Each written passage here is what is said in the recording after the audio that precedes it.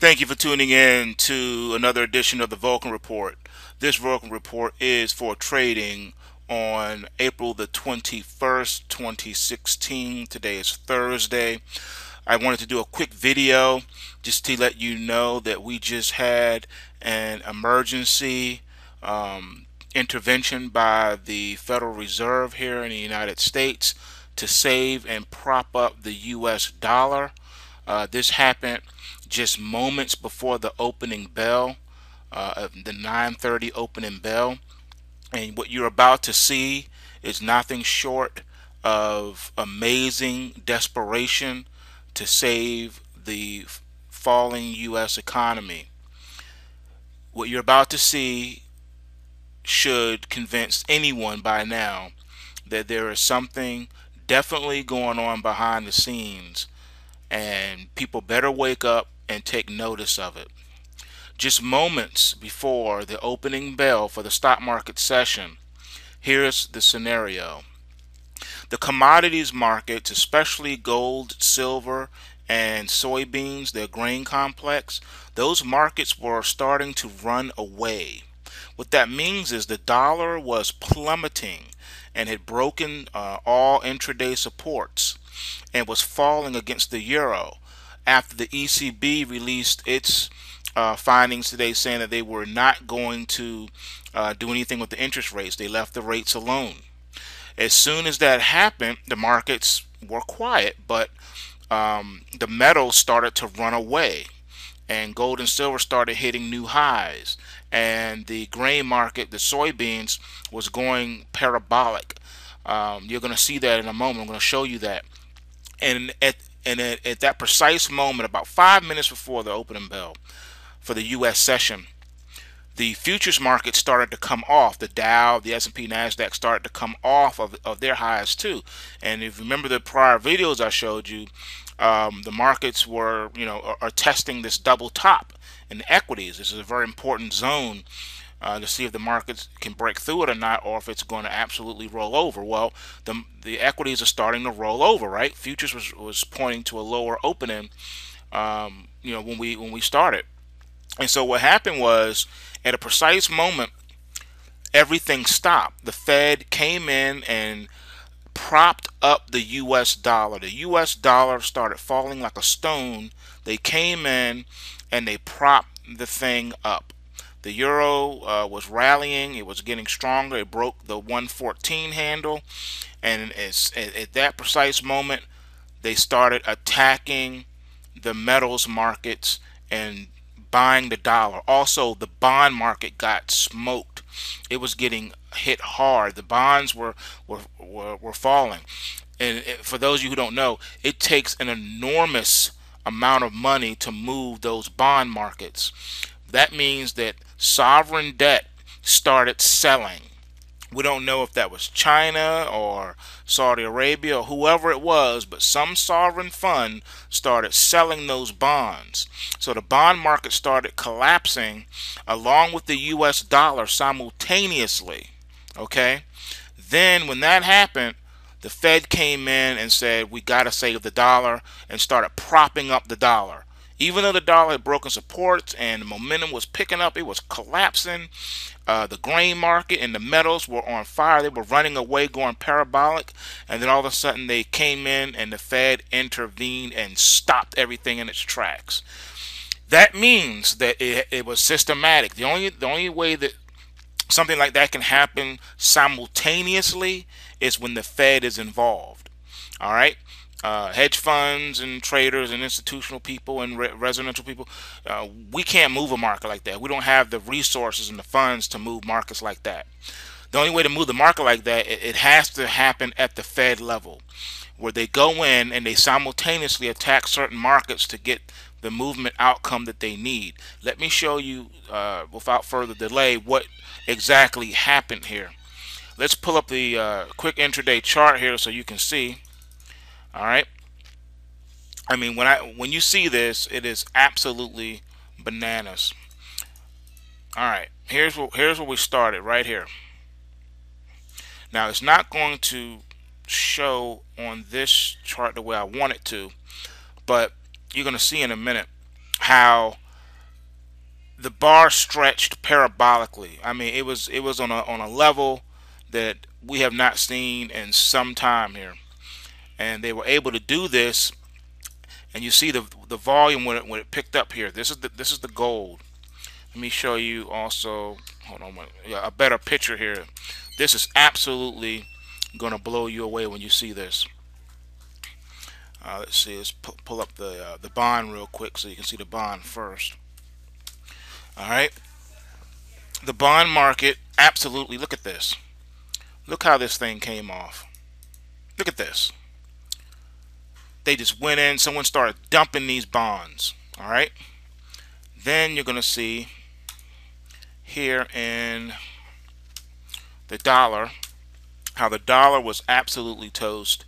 It was it was collapsing hard and I don't know why my chart is not all right, here though, you see this this parabolic bar. The the dollar was toast, broke all supports, just poof, and then they came in and they propped it up, and then look at poor gold and silver.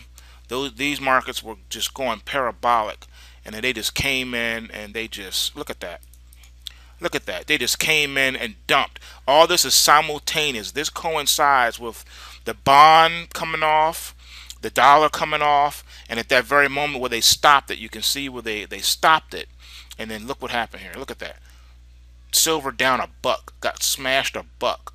All right. So you move the gold market, you move the silver market, and you and by by attacking the dollar. So you start selling the metals and putting an enormous amount of money in the um, in the uh, in the bonds uh, to try to stave off that and the dollar. So they attack that. They put money at that to stop that.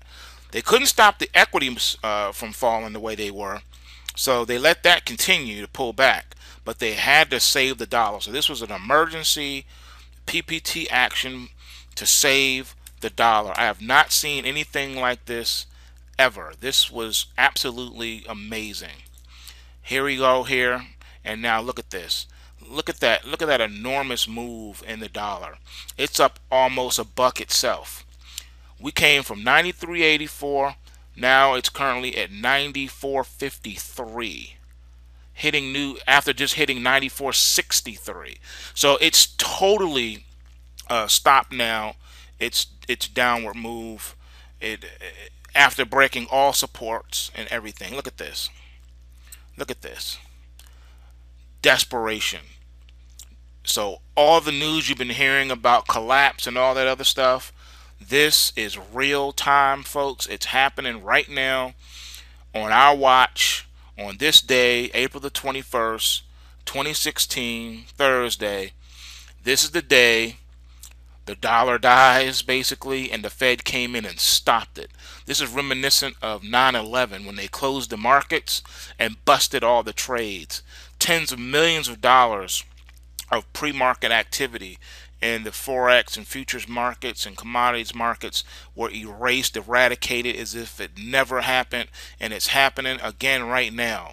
So there's a lot going on behind the scenes, and I wanted to show everyone this before you got it, before they started spinning it in the news. Right now, it's a media blackout. They're not talking about what has happened uh, in in the commodities markets. They're talking about uh, the president coming out and talking about Saudi Arabia. All right, real quick, because I, I, don't want to I don't want to forget this one. Um, you see here the oil is coming off also. Oil was also breaking away this morning. It hit $44.50, which sounds a lot like what I've been trying to tell you in the prior videos of where that trend line resistance was. What did I tell you? 44 49 is where it went and what did we hit today we hit 40 450 right on the nose before the market fell back. And currently it hit 4305 now we're at 43.125 after hitting that trend line just touched it and fell down immediately. So oil was breaking away this morning. The dollar was getting crushed. Uh, gold and silver were just breaking out. I mean silver hit 1772 this morning okay enormous movement only to be stopped in its tracks. So you know that, that there's definitely something nefarious going on. And I also want to mention to you real quick this whole thing with the Saudi Arabia and the releasing of the 9/11 report.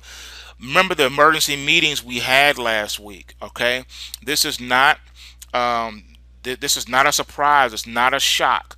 What you're seeing happening this week is results of last week's emergency meetings, a series of emergency meetings with the plunge protection team, with the White House and uh, the president and the IMF and Federal Reserve, all these secret meetings and everything. And then they have the talking heads come out.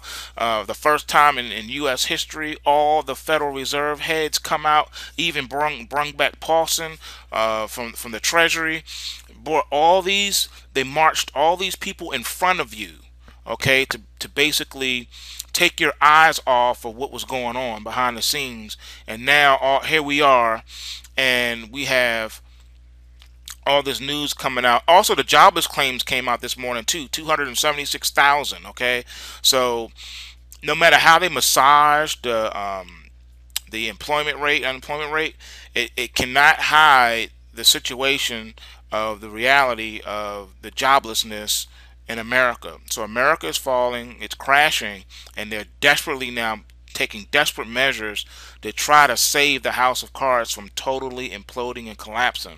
So you guys need to know that. This whole thing with the 9-11 report saying Saudi Arabia was involved, you have to wake up people and know that it's foolishness. Notice how it came after the emergency meetings. Now they're saying, oh, by the way, the, what we saved for you uh, and we're hiding and classified in these 28 pages, now we're going to release it all of a sudden. Remember, they have to have a boogeyman to go to war with. That's the only way to save the economy is with war. And that's what they're trying to do. They try to break Saudi Arabia with this whole uh, crude oil thing, with them um, uh, collapsing the price in the crude oil. Crude, we don't have a glut of oil. There's no such thing as a glut of oil. It's all fictitious. It's all lies. If we had a glut of oil, they wouldn't stop making it because then they would they would be doing shooting themselves in the foot and losing money. You have to use common sense here, people. There's no glut of oil. If there was a glut of oil in the system, we wouldn't be going to war and building pipelines and stuff over there. Use your brains and think about what you're seeing in the media. They're lying to you. The whole thing with the 9/11 Commission report is false. Think about it this way. If the 9/11 Commission report is false, which we know it is anyway, what makes those 28 pages the truth? So let me get this straight. So you got 28 pages of truth within thousands of pages of lies? And so that makes the whole thing truthful. Come on, that's that's absurd. Even now, now, let's let's let's go the other half. Let's say that for for sake of argument that uh, the 28 pages is absolute truth, and Saudi Arabia is the mastermind behind it. They funded it and the whole nine. Okay, so let me get this straight. So nine hijackers, 12 hijackers, oh, heck, make it 50 hijackers. So these hijackers not only hijacked planes, but they also had uh, the power over our armed services and NORAD, and they had the power to send the other, all the fighter jets out of the country. Is that what you're trying to tell me? They had, and they had enough magical power to cause President Bush to read a, a, a bedtime story to children upside down? And you're trying to tell me they orchestrated the, the little chant song that the children were singing about the, the plane must hit still and bring the building down? So all the facts that we have about this whole 9-11 thing you're trying to tell me that these hijackers had enough power and reach within the, every arm and branch of our military and our um, our government to mastermind all of this. So they're the ones that put the messages, the Illuminati messages, in the in the in the, in, in the Bart Simpson cards and TV shows and all the other hints and movies that we saw. And you're trying to tell me they did all of this, right? And all this was and, and, and the smoking gun is a 28 pages. Be for real. Saudi arabia has nothing to do with this whatsoever. It's our own government. And don't let them pull the wool over your eyes any further about this. 9-11 was an inside job. The only way it could have been done is if we orchestrated it okay? Uh, and i mean for those of you who are new to this, just just do some basic research and you'll find you'll find the truth. There's so much documentation and information out there to expose to you all this stuff. E even talking about uh, Building Seven. So the hijackers made Building Seven fall down too, huh? And then Building Seven wasn't hit by a plane, and and, and all of a sudden it, it fell, it imploded too. I mean, come on, guys, use your head. All right, even if it were physically possible for for a, for for a plane or two to take down two buildings and make it three, four. I think, it was like four buildings. You include building seven and something else. So these planes were able to do all of that and even take down a building that um, that was not hit by a plane, and then have all these buildings pancake on themselves, and then they have nothing left of the buildings.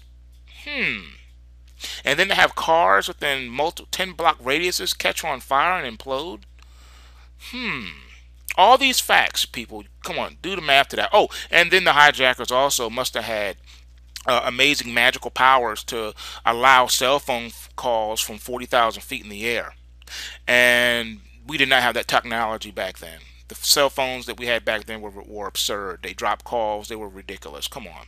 But yet they, they had this power to do that. All right let me get off of that and move on to the last thing because this video is going long. The whole thing with this whole election thing too, you guys, they're trying to make you think that if um, you know, if, uh, if if Trump wins, you know, then it's going to be bad for the markets. So if Cruz wins, it's going to be good for the markets. You know, they, these the president election has absolutely nothing to do with the market. Okay, nothing. All right, their policies are the same.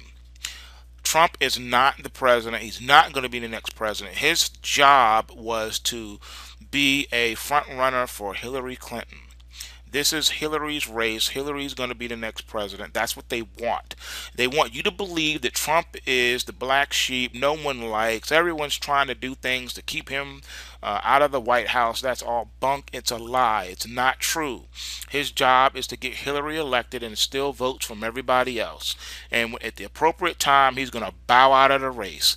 If things don't go their way, he'll stay in there and still they'll make sure that she gets more votes than him. Uh, at the end of the day, his job is to make sure that no one takes this election away from Hillary. Think about it. The guy is related to her. All the presidents, save one, have been related to each other. He has given untold amounts of money to her campaign over the years. He was front and center at at, uh, at her what daughter's wedding, whatever. Come, I mean, come on, man.